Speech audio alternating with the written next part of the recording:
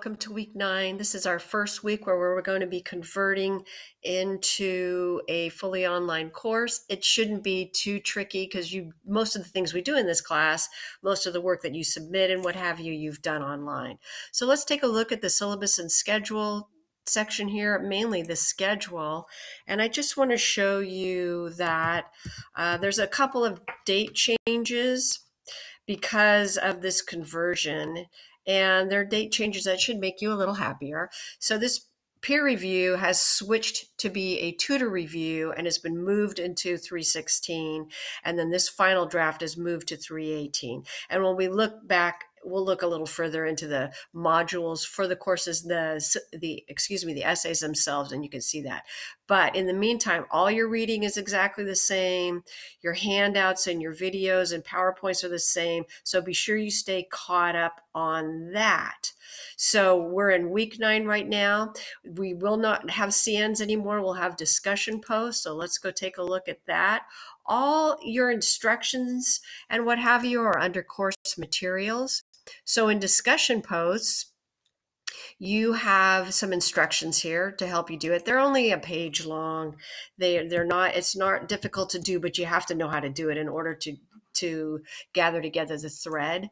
And so the CNs, which are now discussion posts, are in the discussion board.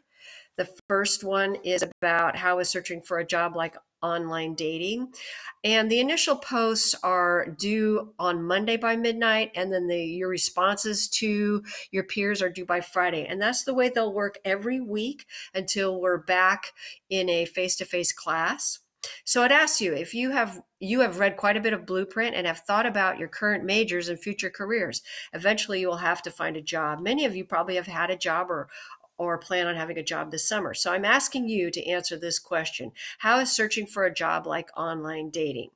That answer is due by Monday at midnight. After that, you need to go back and respond to a couple of your peers by thinking about this question how does your expectations and or experience compare to your peers?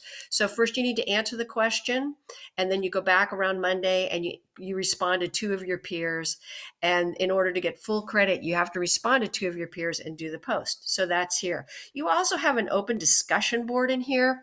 So if you get kind of lost or you need some help hopefully your students um, peers will be looking at this often and they can help you.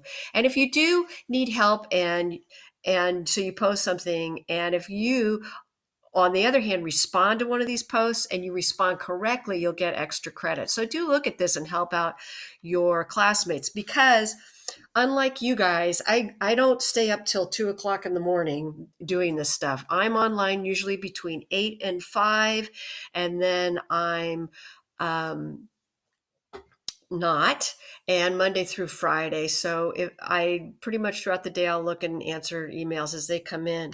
So that's the, the discussion post as for the essays we're kind of doing the same thing we're in these modules these synthesis modules and right now is what we're working on this is probably the hardest essay you're going to have to write uh, you can see here where the dates have changed for the tutor review and the final draft. So the peer review has now become a tutor review.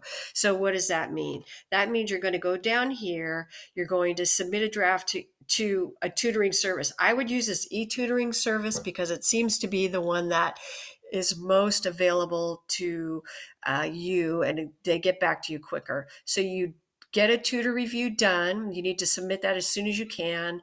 And then once you get it returned to you marked up, you submit it to this tutor review Dropbox. And then I will give you points for it. The final draft is due on the 18th. So that's this essay. And this essay is, we've been working on it for a long time. It's the synthesis essay. Um, you should have looked at the Boomerang Kids essay at least a few times by now, and it tells you how to structure it. You have that beginning paragraph with the synthesis question, and then a, a um, summary of that the first article and a summary of the second article and then you have this transition into the thesis statement and then you have the analysis section which is the two sources talking to each other. So you can see in this case, they compared and contrast. In this next paragraph, they wrote to a topic about brain development.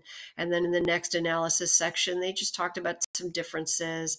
And then they transitioned to the synthesis section, which is another two or three paragraphs. And you can tell it's synthesis because this is where this writer has said it's raised some questions for me. So this is where you jump in and you have another two or three paragraphs of that. And then a conclusion, don't forget your works cited page. So that's the final draft, and that's how that one works.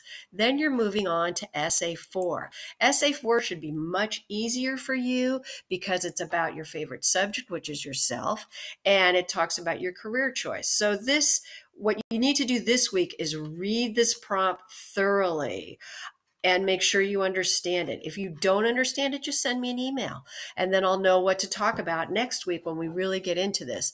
This essay is written in sections. It's a five page essay. I would say each section is maybe two pages long. The first one's about is this the right career for you?